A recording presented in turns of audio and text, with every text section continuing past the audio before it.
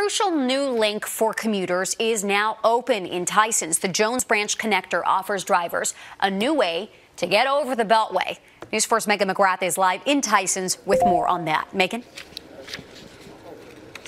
Well, if you look behind me here, you can see that uh, transportation officials and local dignitaries just moments ago cut the ribbon here on the Jones Branch connector, officially opening it. Now, you may also notice that we're seeing some traffic on it. So it has actually been opening little by little over the last few months, but it is now completely done. It provides a crossing over top of the Beltway here in Tysons, and it's not just for cars.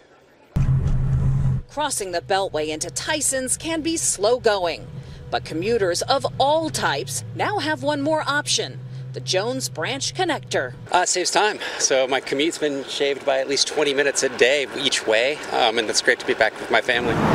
The new connector has been opening in phases for the last several months. Today marks the formal celebration of its completion, and there's something for everyone. Two lanes in each direction for the cars, lanes for cyclists too, and lighted sidewalks for those on foot. This is a once in a generation, a new crossing of the Capital Beltway, multimodal in scope. So pedestrians can use it. We've got on-road bike lanes. We've got access, direct access to the McLean Metro Station on the Silver Line, and also access to the express lanes of the Capital Beltway. And before?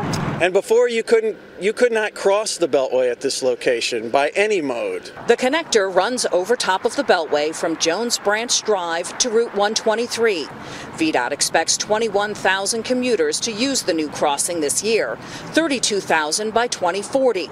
That should help relieve congestion on other roads in the area, and many have already seen the improvement. Now it's, I just get onto 495, take this connector, and then I'm, boom, I'm in the office.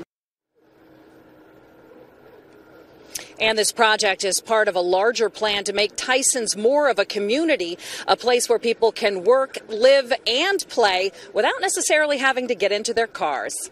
In Tysons, Megan McGrath, News